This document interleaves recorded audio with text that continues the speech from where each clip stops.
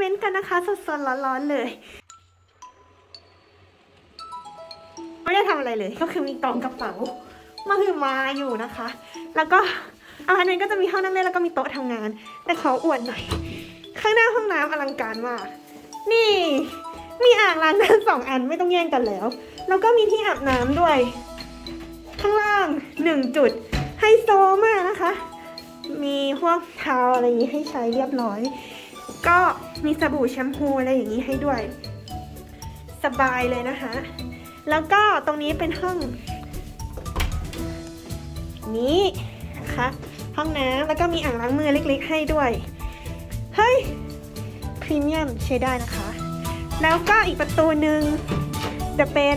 ห้องเก็บของน่าจะเก็บเสื้อโค้ทอะไรที่นี่แล้วก็พวกกระเป๋าเดินทาง นะคะไม่น่าจะมี storage ข้างล่างเหมือนอพาร์ตเมนต์ที่เป็น permanent ทีเนี้ยเขาบอกเราว่า พวก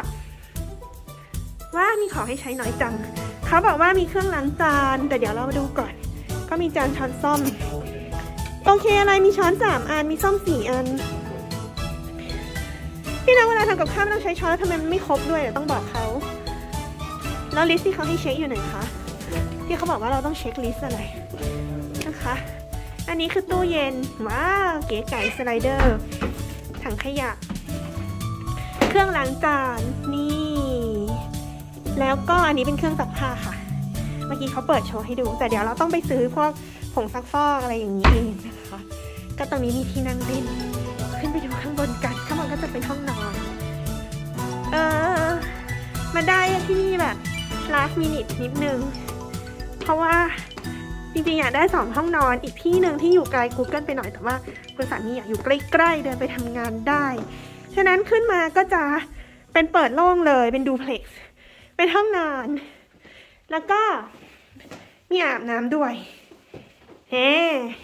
อ่างล้างหน้าต้องมีสองอันไม่งั้นจะเกิดสงครามโลกครั้งที่สามถูกต้องแล้ว แล้วก็อันนี้เป็นที่สุขาค่ะ ตรงนี้เข้าใจว่าปิดประตูได้นะ ก็จะออกแนวแบบลอฟนิดนึง อย่างนี้ เข้าห้องน้ำได้จากสองทางเลยเหรออ่ามีเป็นตู้อ่าอ่ามีตู้เสื้อผ้าอีกเหรอ เออ ก็ต้องมีสิเนอะแต่มันเล็กจัง ไม่พอ ไม่พอ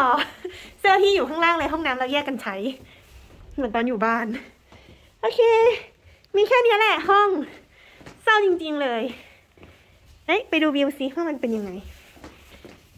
ใส่รองเท้าขึ้นมาเนี่ย แล้วเราจะทำความสะอาดพื้นยังไงหืมเขามี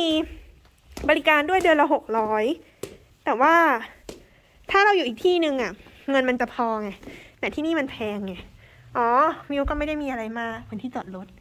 แต่ก็เงียบไม่ได้ยินเสียงข้างนอกเลย ที่นี่ระบบ soundproof เขาดีมากเขาบูชาเรื่องความเงียบมากนะคะ แล้วตอนนี้ก็หิมะตกหนักมาก โอเค ไปจัดของก่อนไปละบ๊ายบาย